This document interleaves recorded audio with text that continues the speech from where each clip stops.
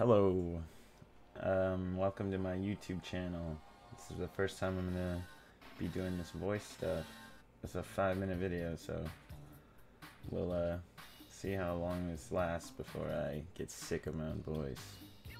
Here I'm painting the pale skin of the dwarf Viking. Orange hair classic for the uh, Scottish and Brit uh, Irish. I don't know. They're European. Uh, he's got some uh, dark bags under his eyes because he's been uh, traveling a long time, golfing, uh, drinking with his boys. How are you? They say to each other as they drink from their ale flagons. Flagon. Here I'm shading his arm a bit. I uh, add some muscle tone because uh, they're hard workers.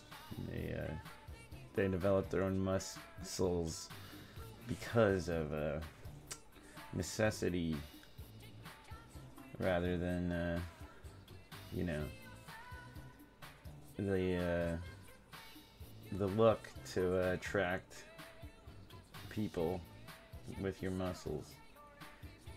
And they did it out of necessity. Here I uh, cover color in his hair.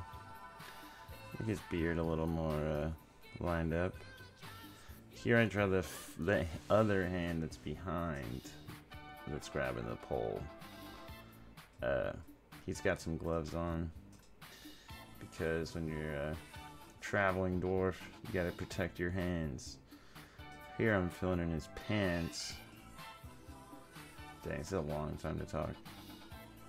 Gave him a little bit of a receding hairline up there. I don't like the way that I colored the pants. They could have used a lot more uh, definition. But I was just I was just messing around. Uh, yeah, the dwarf is cool though. I like drawing dwarves. They're uh, they're strong, you know. They're stout. They're short, but they're strong. They uh, have powerful bodies. Here I uh, left a little bit of room for some sort of tabard that uh, I'm filling in here. It was a little too short on the left side, so I extended it. Also try to make his gut look like uh, he's an actual dwarf who drinks ale, dude. And not just some some sort of a poser dwarf. Not that all dwarfs have to drink. To each his own. Their own. Here I uh, start to uh, color in the flagpole. I wasn't necessarily sure what I was doing with this drawing at first. Or painting, and be honest. I was just like, let's have some fun. Actually, one of my buddies at work told me to draw a traveling dwarf, so I was like, okay. I'll, I'll, I'll, give it a shot. I'll try it out. I'll, I'll try it. Uh, yeah, coloring in the grass now because uh, where else is a dwarf gonna be? Although this grass looks a little too nice. And then I was like, oh, the grass is green. Mini golf. Actual golf. Here I fill in his uh, bags a little bit more. He's a real baggy dwarf. Oh yeah, and I, uh, the cameraman here is a complete buffoon. It's like he wasn't even paying attention. It was me. I was the buffoon. Uh, yeah, so I was like, this looks like a golf fucking course. And this guy is a, uh,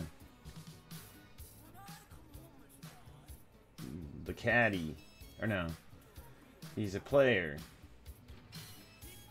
I, yeah, he is the guy. He's holding the flag for his boy the other golfer. Nice blue sky.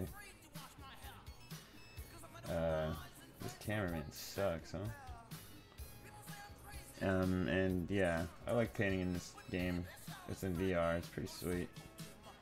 And I was gonna write something there, and I did write something. And then I realized that that was not a uh, a good sentiment. So I patched it up. Drew the hole. And now it looks like he says four, although the editing kind of screwed up. Well, thanks for watching, dudes. Peace.